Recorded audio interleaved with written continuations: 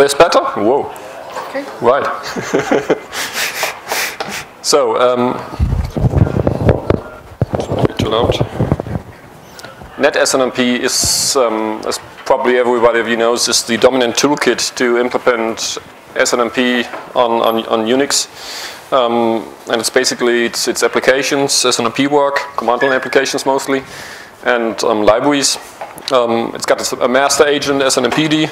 It's extensible. You can uh, write modules in C, which are um, included via the dlopen system call. And it's got uh, some other extension mechanisms as well, SMUX Agent X in particular. Um, it's basically it's a C AP. Um, it's got its template generator mib2c, so you can, um, if, if you're focused on C, you can just um, give it a MIB and it will, you will just call mib2c on it and it will generate a, um, a, a, a, template for your own agents, so you don't have to, to, to write everything yourself, you just fill in the missing pieces, etc. But it's C, obviously. And, um, well, the agent architecture it uses internally is beyond this talk. So why Python? Um, my experts told me so. Plain and simple answer. Um, could have been Ruby as well, but so it came Python. Um, NetSNMP comes with a Python module, NetSNMP, DOE. Um, it's quite a large pile of, of, of C code um, that abstracts the whole C API into, into an object-oriented approach, but it's uh, client code only. So if you want to do an agent, you're stuck. Um, so basically, the idea is um, we just take the C API and we access it from Python with ctypes, um, imitating AgentX sub-agents written in C. Um, I'm not the first one to have had that idea. There's a module on SourceForge called Python AgentX, um, but it had some design issues and it looked rather orphaned to me. Um, I did some patches initially, but uh, after seeing them not being considered for, for, for weeks and months, uh, I just thought, well, uh, dump the whole shit and rewrite it myself so I understand it. Which is, of course, an attitude uh, which is uh, well known among uh, developers just do it yourself. Hello, Python NetSNMP agent. Um, it's pretty simple, actually. It's just two source files. Um, one um, has all the C-type stuff, which means um, prototypes, as we would say in C, um, which wraps the API calls, just 13 kilobytes. And then um, on top of it, this netsnmpagent.py, which is the file with the classes. We'll see about that. Um, and it's also not, not, not quite large. But it's extensively commented, which explains why the real code size is one third less. Um, I've got example MIBs and agents included. What I mean coding style, um, it's not particularly PEP8 or whatever the Python coding style um, proposal is. It's more or less my own coding style, but it's consistent.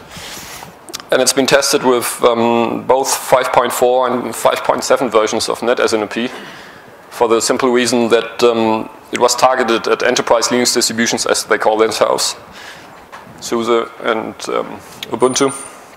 And they're still shipping 5.4, so I have to take care of those as well. Let's look um, how we would implement an MIB. Um, this is basically the um, ASN notation, how, how you um, construct MIBs. You just give it a name.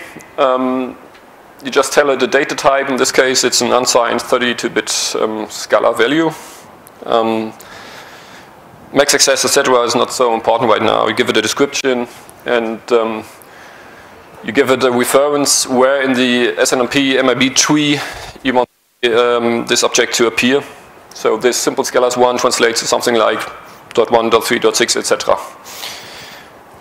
This is a quite simple example. It's just an integer value which we want to, to, to make available. Um, you could have, um, you can also do tables, but that's way more complex. But it's supported, of course. So if you have a MIB like this, this is merely a declaration. You're just saying, um, you're just merely constructing a tree of information um, you don't have the code yet. And that's, of course, the intent of using my Python NetSNMP agent module. So you write some Python code, you put an import statement in it, and you just import the one file with the classes, not the API calls. Um, and you construct a new object of type NetSNMP agent, which uh, needs an agent name, which NetSNMP um, requires internally. Um, and you give it a list of uh, MIB files. In this case, the MIB file we just um, defined. Um, NetSNMP requires that, um, for example, so it can translate internally between um, symbolic names and the numeric OIDs we've just seen. And so you create an agent object. Of course, you do proper exception handling, unlike here. Next thing you do, um, just because you've um, declared a, structure in the MIB file, um, doesn't mean that all those um, information elements uh, have been appearing magically. You still have to explicitly register them, which makes sense because you could have two agents implementing different parts of one MIB file. So you come up with a registration. Um, I've got sort of a class factory um, here for the different data types. In this case, integer 32. I thought it was unsigned, right? Egal. Whatever.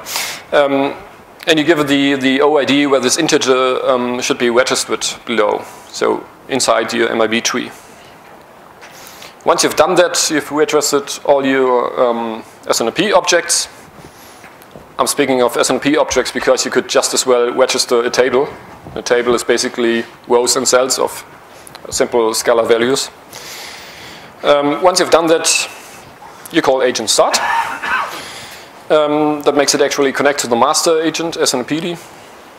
Of course, you do proper exception handling again. And then um, your agent basically looks like this. Um, this is a simple example, of course. Uh, you've got an endless loop. Um, you call agent check and process all the time. This is, in fact, a NetSNMP library call. Um, they designed it this way, and as I said, I'm just wrapping their API calls. Um, so we have to do it this way as well. This example, I could, um, for fun, um, update the integer value I just declared and, and, and double its value all the time, provided I would have initialized it or give it a, its value or whatever. And um, I could call an SNMP set from the command line um, and see the new value appear here. Um, this is very simple. There are, of course, more complete examples, um, for example, of tables in the source distribution. And the real-life agent is, of course, also much more complex. So the agent I wrote for internal use is like 120 kilobytes, 3,000 lines, um, because you want to do all the fancy stuff like uh, daemonizing and, and, and log logging and whatever. Right. Um, if I have time, I'll do a short demo in a, in a second. Just so you know, there's some things missing, of course. Notifications and traps in particular. So um, you can't, as of now, you can't write an agent which informs the master agent, um, for example, of a fan failure or anything like that. API documentation, who would have thought that? And um, maybe some unit tests. Because as I said, after all, we produce safety, right?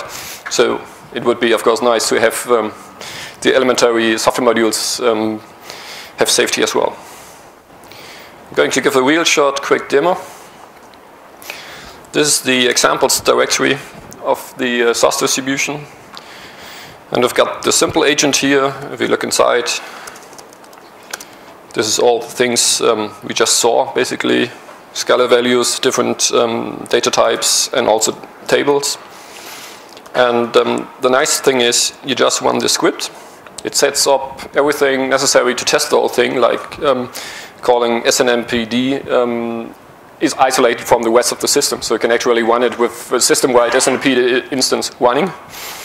It even says uh, at the top what the commands you have to run and it dumps the current values of all those um, variables. And so I can go ahead from separate shell, just give it the command like, like uh, take this MIB I have in this directory, connect to the instance on this port, because as I said, it's separate from system-wide SNMPD. And it gives me the values. And I can do things like, um, um, like I can also access the, um, the tables. If I had the right um, OID, that's first table, all right. So this example, it's some uh, should be temperatures or anything like that. Um, and I could play around with SNMP set as well. But because my time is up, um, questions?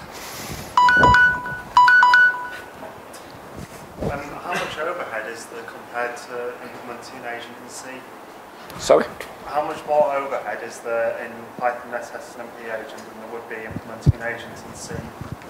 In terms of what? In terms of Repeat the question. yeah, the question was um, how much overhead um, a Python implementation would be compared to C. Uh, in in what terms? You mean in like like uh, one speed or? Uh, well, we currently use NetSNMP C agents as a base to our uh, product. And I'm thinking of re-implementing it in Python to simplify some of the agents, and we can be doing up to sort of 100 to 200 requests per second. Yeah. I mean, is there, is there a lot of wrapper around the C API, or is it just fairly bog standard? It's basically it's a, it's a, it's a wrapper. It's, it's very close to the C API. So if you if you have ever delved into the um, the details of the C API, you will recognize uh, much of it. Um, then again, as, as, as, you saw, it's, it's pretty abstract. You just give an agent, create an agent object and register some variables, and, and, and you're done. Um, as, as for the overhead, I haven't benchmarked it um, for the simple reason that um, writing the same in C, the same agent I had to write um, was no option. So I, I have no comparison. But um, overall, I haven't seen any performance issues so far because Python is actually quite fast. Um, uh, we're running out of time because the next talk has to start. Yeah. So uh, Yeah. thank you, Pieter. Come to me afterwards. And any questions? Any questions? Um, chase him out um, outside the room. Um, the next talk will start just in a couple minutes.